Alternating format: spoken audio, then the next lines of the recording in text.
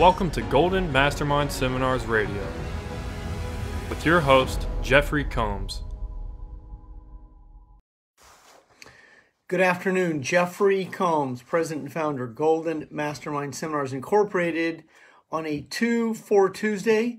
It is Tuesday, December 14th. Welcome to Facebook Live. Great to connect with you. Go ahead and let me know you're here on Facebook Live as I see my wife is sending me photographs from Brazil, Rio de Janeiro. My wife today is on her holiday vacation in Rio de Janeiro. So good to see everyone today. Scott Lucas, look forward to coaching you later this evening. Brittany Simon, welcome to Facebook Live. Aaron Knight, awesome coaching you this morning. Jason Anders, welcome to Facebook Live this afternoon. Josh Morton, Josh Moran, Josh, I loved your I loved your video today. I saw you benching. How much was that, Josh? Kimberly Shimbari, welcome. Ron Ziegler, longtime follower. Brittany Simon, good to see you this afternoon.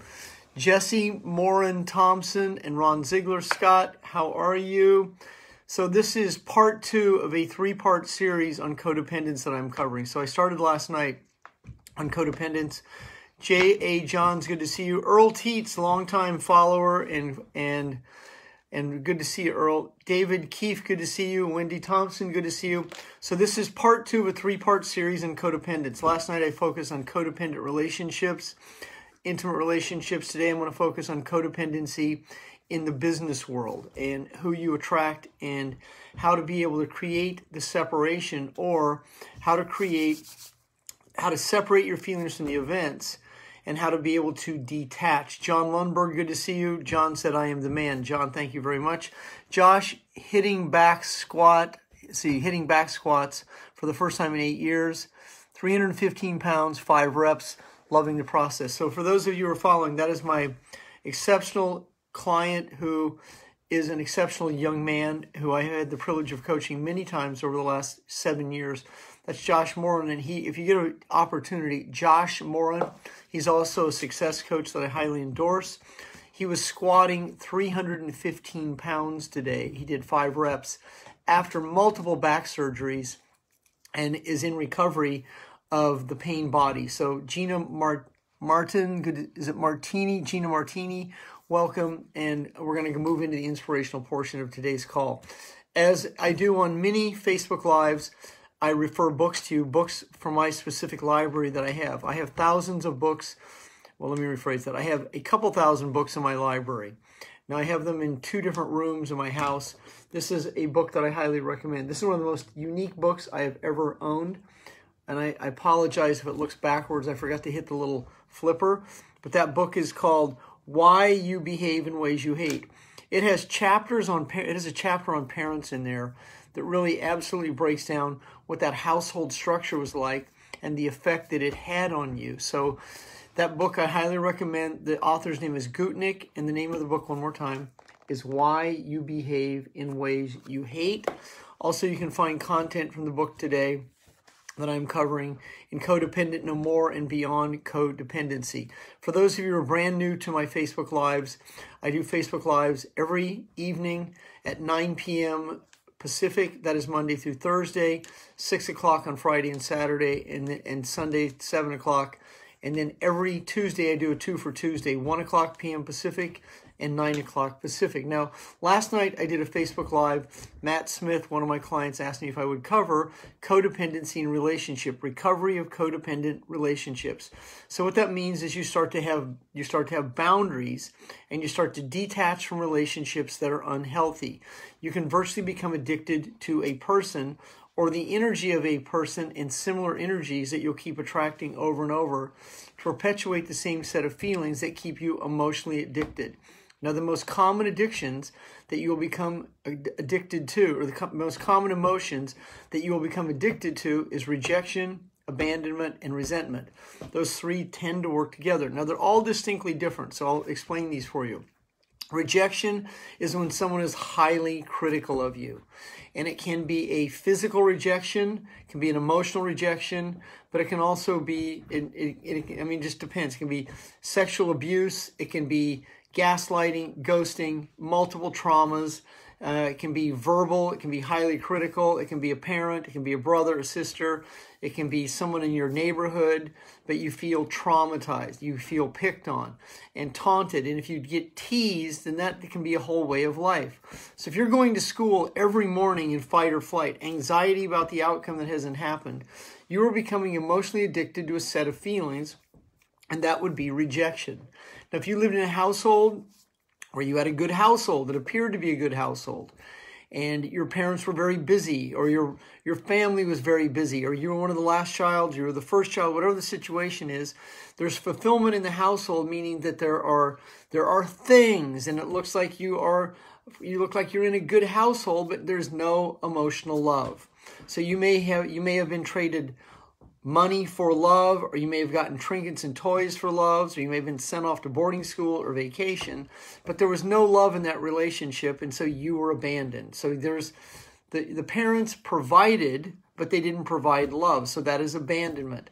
That will set you up to attract your reality people in situations of unfulfillment. So this is so this is how you start to separate abandonment and rejection. Now I typically run them together when I'm breaking down the emotions. And then resentment is what you will tend to receive frequently, and it's the abiding anger. So there's anger, there's hate, and then there's resentment. And resentment is an anger that you stuff. And this is the anger that comes from codependence when you're over obligating, enabling, doing more for others than you do for yourself. Now, this will show up in business in a team. You lead the team, you host the team, you do things for the team, you do events with the team, you have parties, you go on trips, whatever it is you do, and then but your team isn't producing. And so then you then internalize that by I'm doing everything for them. I've done everything for you. And this also happens when you, then the communication is they left me. They cheated on me. Well, instead of this is in recovery you learn to separate the me part. So if someone in, that you're in a relationship with had an affair, that's how you it's they had an affair. It wasn't on you. They weren't they weren't standing on you. It wasn't on me they had an affair. That's how you begin to separate the feelings from the facts so that you're not the mind body connection to those feelings, so you don't recreate, regenerate, and continue to create the same situation to fulfill the same set of feelings. For those of you who are not on last night's Facebook Live, I covered codependence and the origins. Codependence typically comes from a loss of identity, it comes from a loss of innocence that it's, it's not uncommon if you grow up in an alcoholic household that whether you're a man or a woman, oftentimes if you're a talented child, a brilliant child, you become the therapist to a father or a mother. You become the provider. You may be, you have to go out and earn money and you have to give your money to your family. You take care of your family, support your family. I mean, now, now this is setting you up neurologically to take care of a lot of people. And I mean, this, this becomes a conditioned response. It becomes an autonomic response that this is who I am and what I do. So this means you, you there's a high probability you'll become a rescuer, you'll become an over-obligator and enabler. You'll attract to reality like-minded people to fulfill the same set of feelings. So if you're an adult child of an alcoholic, the ACOA, adult child of alcoholics, adult child of an addict, did you grow up with a mother who was chronically in bed, who had chronic pain, who had chronic headaches, any multitude of situations? And then you become the caretaker, you become the doctor, the therapist, any multitude of situations. I have actually also, I've actually coached women before, and I've said to them, I've asked them, Did your mother hit on your boyfriends? And she goes, Oh my God, how did you know? Well, I could feel it. I have a, I've coached 60,000 hours one on one. I have a lot of repetition and experience. So I understand how that happens. And so, uh, did you ever have a parent who was who was treated you like they were your friend, not your parent? And then there's the good parent and the bad parent. So if you had this situation, this is setting you up to be codependent, a loss of innocence, over obligation. And then if guilt is used to control you, then that can also be a very prevalent situation as you go out into being a teenager, adulthood, and then this is these are the type of people you'll attract. You'll attract your reality, people in situations to fulfill your feelings. Now, in the business world, in the so if you own a business or if you're building a team or if you're part of a communal team that you're building a culture in a team, and this team, and this is your team, and there's this team, there's these teams of teams, and the skill requires attraction skills, well, there's going to be this 80%. I mean, there's the 80% is the web. That's the web of everyone out there. So there's always going to be this 80%. But in breaking down the law of the few, there's the 20%, the 10%, the 5%, the 1%, and then the extreme law of the few, the 120th. That's 1 slash 20 of 1, the law of the few, 1 20th of 1. So then if you're looking if you're in a team and you're you're going to get compensated in this team and have leverage that compensates you, well then that's also it's going to be your responsibility to really understand that attraction is a skill. And so if codependency is a major component of your personality, it's a major component of your in of your of your energy, then you're going to attract people who will disappoint you and you will make up stories about people to disappoint yourself. And then you'll say things like they ghosted me, they they rejected me. When in reality, people typically don't ghost you, they just check out. They're not interested. And when you get attached, now here's a key component in in understanding codependency. Codependency creates attachment. We get we, myself included, I'm a recovery codependent. We get attached to people and situations. We make stories and make dumb shit up about people and situations, and then we find ways to make them wrong. We get into conflict with them. They tell, we tell ourselves stories. We have challenges letting go of them because the ego, the analytical egoic mind, wants to feel rejected. So if you're addicted to rejection, you're going to attract people and situations to fulfill those feelings. And then if you can't find someone to reject you, you'll reject yourself by being critical. So when you're your own worst enemy, I mean that's and people say this before, I'm my own worst enemy. What that really means is you're highly critical of yourself. So this often comes from I've coached hundreds of these people, people who cut themselves. Now I I, I was not a cutter, but I did cut myself once down the grain. It was a weak attempt at suicide. I didn't think I could ever kick alcohol. And so I cut myself and did what an addict is. I butterflied the stitches up and went out and got hammered. I mean, that's what an addict does. Addicts like drama, chaos, and an addict always wants a little more. Also, if you're codependent, there's a lot of apathy. That's another emotion that that comes into codependency. That's a fourth emotion. So there's abandonment, rejection, resentment, apathy. Now, codependents tend to be very sensitive and very defensive. They tend to be very apathetic, meaning they go into they go into deep fits of, of despondency, oftentimes depression, suicidal thoughts. That doesn't mean they're going to commit suicide, but there's the romance with it because they're not good enough. And so this is a low level of energy. It typically leads to a lot a, lot of codependent personalities stuff their feelings with food. That's the number one addiction of a codependent. That's the second addiction. That, and then there's also alcohol and pharmaceutical medication, over the counter medication, they tend to they tend to come together. So th- this can all be rectified by being by moving into a higher level of sobriety. Now here's here's another situation that that happens. So codependents hate to be alone. This is one of their stories. I'm not sure what it's like to be alone. I'm not sure if I can be alone. I'm not sure. I'm worried about being alone. And in reality, you're going to be much better off being alone than you are with people who abandon and reject you. But this this isn't how the ego the ego the ego requires someone to feel a feeling so when you're saying i'm not sure if i can be alone what you're saying is i'm not sure if i can stop drinking i mean i said the same thing i wasn't sure if i could stop drinking because alcohol became my mistress I had a story in my head that vodka was glamorous. It really wasn't because what vodka became was a place that I would lay. But the end of my drinking career, I was laying on the bathroom floor every single day, seven days a week, with a blanket because I graduated into into alcohol poisoning. I drank so I consumed so much alcohol daily that I became poisoned by it, and then I eventually graduated into what are called delirium tremens. That's not tremors. They're tremens, and it means the body that shakes and the body that convulses. And this uh, this happened to me at 31 years old. That what that meant. That's how much rage that I lived in, and how much anger and how much hate I lived in.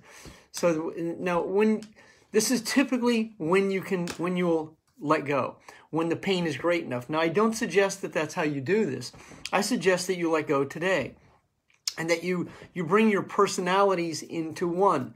Now, for those of you who I've coached in the last few years, especially this last year, I've watched many of you really come into your power and like really step it up in like step it up in emotionally and really step it up into consciousness, especially those of you who really understand what's going on behind the veil of what's going on in, in, in the world today. I'm very proud of those of you, and that's, that's most of you on this Facebook Live, is you're like starting to see beyond that which is physical because your inner knowing, you know, like your consciousness knows that you're being lied to. You know that there's a veil that's been lifted over your head. You know that the vaccines and the mask and the pandemic and the election, you know more than most of the world and society. You're not watching mainstream media, you're finding other news sources, and then you're connecting with people of like mind. You're coming together with these people. But this is this is what I, I have this conversation with so many of you every single day. This brilliance, that's what you have. I have it too. And the difference between me and you is I've been at it a lot longer. I was right where you were. I was at rock bottom. I was um, I was emotionally bankrupt. I was near physical bankruptcy. I was $100,000 in credit card debt once. I mean, I knew I had it, but I didn't know I had it. So that was the fucked up contradiction I would live in. It's like I, I knew it, but I didn't. So that was like I, I I could go up, but I knew I could go down. So, and I would live in this this this constant yo-yo, and that's what created headaches for me. That was the pain body. It means I was in a chronic state of pain. I also did not know how codependent I was, how needy I was, how addicted to recognition I was. That's also a form of codependency. Codependence require recognition. Oh, thank you, Jeff. You're the fucking man. Thank you for everything you do for me. Well, that that's an ego that depends on recognition. Now, the the ego that is the as you let go of your ego and you let go of that ego, the ego that that is in the egoic mind, the analytical egoic mind, as you let go of that, then you step into a place called consciousness. In consci- consciousness is now self-esteem requires no recognition.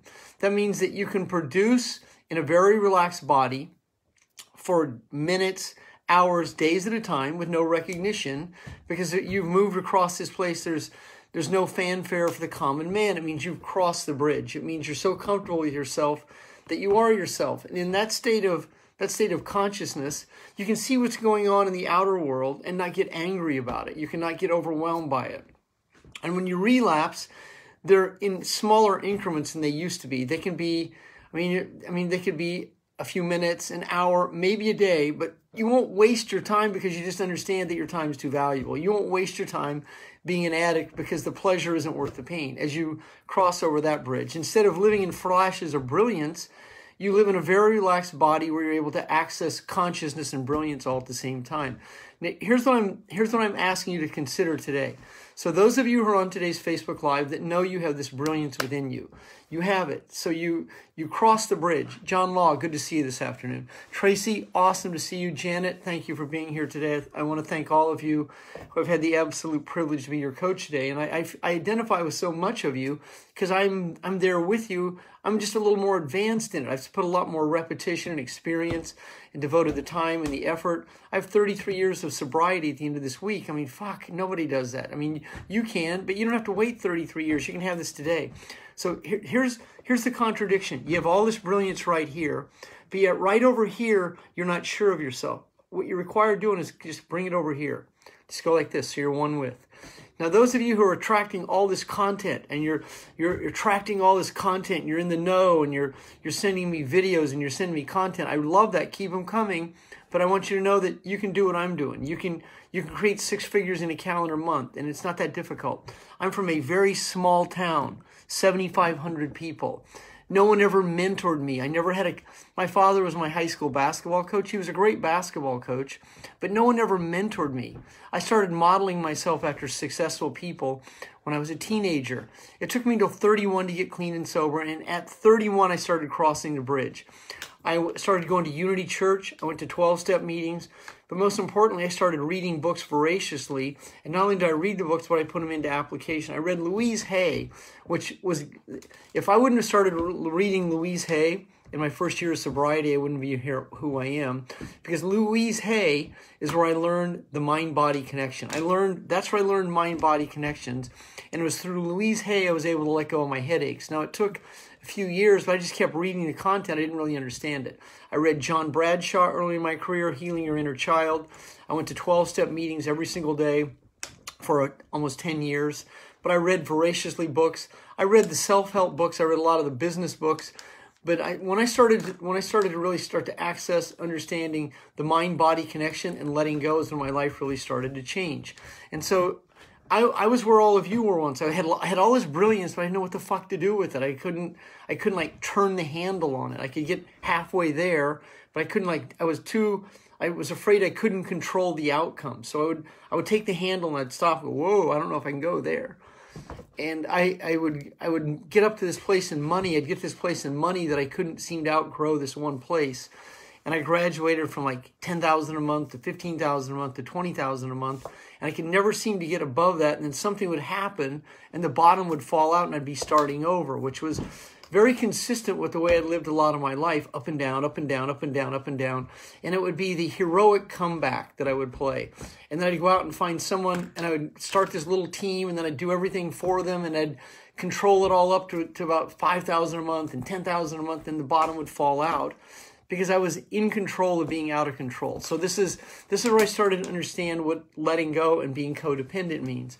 It means instead of being codependent, I learned how to be more independent. And being independent means that I could rely on self and I didn't require any recognition from anyone else. And so when you when you can move into that state, this is when you can sep- this is when you can start to be you can have a relationship with yourself rather than trying to get a relationship from someone else.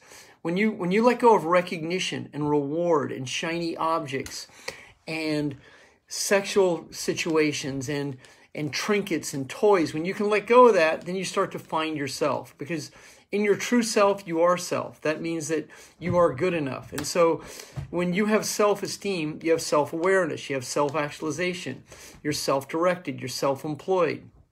So that means you rely on yourself. That means when you have that, when you hear that, but you do this without feeling selfish or feeling guilty. So in letting go of codependency, you're going to have to you have to understand you're going to have to let other people hit rock bottom without you trying to control their outcome. And I have this conversation with people 7 days a week, but they're my family. I go that that's correct.